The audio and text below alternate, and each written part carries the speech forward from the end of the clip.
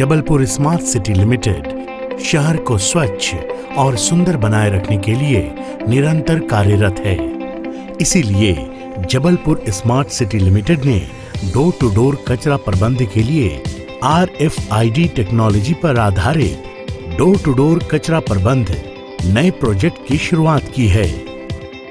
इस प्रोजेक्ट के अंतर्गत जबलपुर शहर के समस्त घरों तथा दुकानों, स्कूल, कॉलेज एवं प्रतिष्ठानों में आर एफ़ आई डी यानी रेडियो फ्रिक्वेंसी आइडेंटिफिकेशन, चिप लगाई गई है।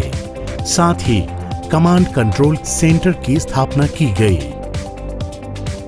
इस कमांड कंट्रोल सेंटर में, जिसमें जबलपुर शहर के हर एक घरों, दुकानों, स्कूल, कॉलेजों तथा प्रतिष्ठानों के साथ ही बिन्स की जीआईएस मैपिंग की गई है, जिनमें घरों को नीले रंग के आइकॉन में दिखाया गया है। शहर की हर सुबह नगर निगम के सफ़ाई कर्मी शहर के हर घर से कचरा लेने निकल पड़ते हैं।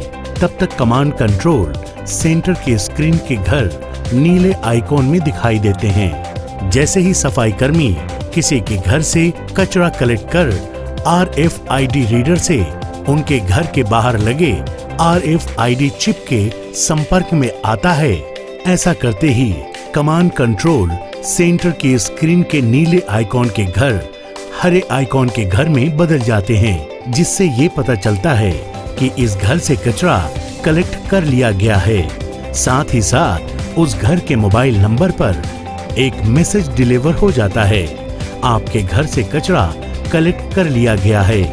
वेबसाइट लिंक भी आता है। इसके माध्यम से नागरिक अपने सुझाव एवं शिकायत कमांड कंट्रोल रूम में हेल्प डेस्क में कर सकते हैं।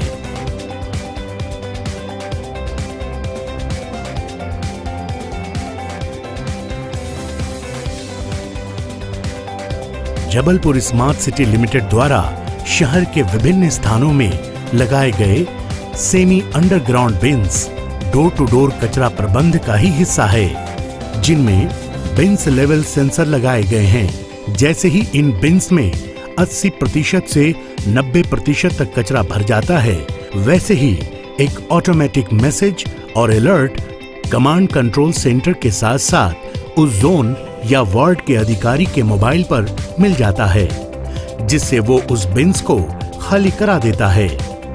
इस टेक्नोलॉजी के द्वारा हम घरों से कचरा उठाने से लेकर ट्रांसफ़र स्टेशन एवं ट्रांसफ़र स्टेशन से कठौंदा प्लांट तक के प्रक्रिया की मॉनिटरिंग की जाती है। हर एक घरों से इकट्ठा किया गया कचरा अंत में कठौंदा प्लांट तक पहुँचाया जाता है, जहाँ इस कचरे से बिजली का निर्माण किया जाता है। ये बिजली काफ़ी ज़िंदगी को रोशन कर रही है। ये सब जबलपुर स्मार्ट सिटी के द्वारा कचरे का सुव्यवस्थित प्रबंधन कर जबलपुर शहर के विकास में मुख्य भूमिका निभाई है।